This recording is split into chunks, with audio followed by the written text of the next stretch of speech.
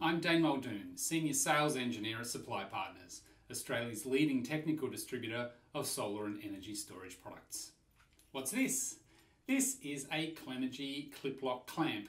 It's designed to wrap around the roof profile, clamp it on both sides securely, and then upon which you install the rest of your racking and then your PV modules. Uh, typically used with the cross connector clamp that goes on here and this is one of three different clamps which are all referred to as Klip Lok clamps. You can see this particular one very similar but this one's a little bit smaller. So what is the problem with Klip Lok roofs? There are two things actually. The number one problem with Klip Lok roofs is that it's difficult to identify what particular profile a Klip Lok roof is.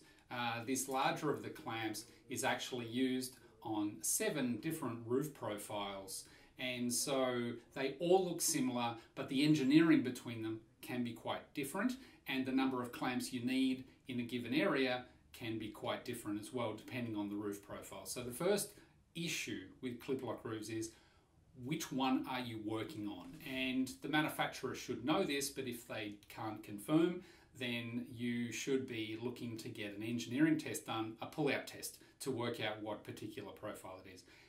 The second problem we have with Klip Lok roofs is designing the racking installation correctly so that we have a risk-free installation.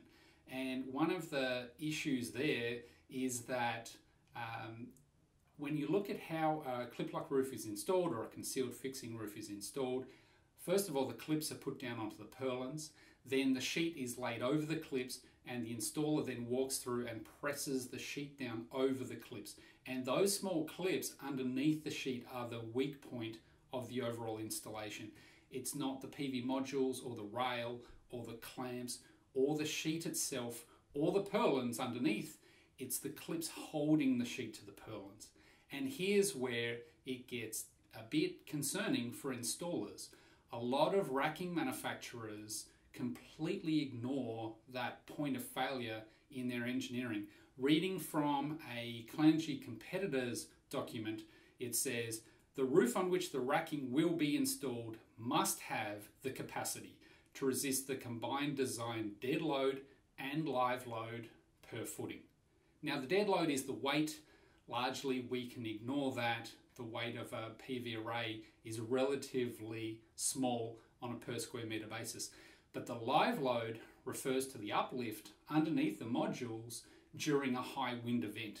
And at that time, if you don't have enough clamps on the roof, then you're putting too much pressure in individual points on the roof, and that's when the clips underneath the roof sheet itself can fail.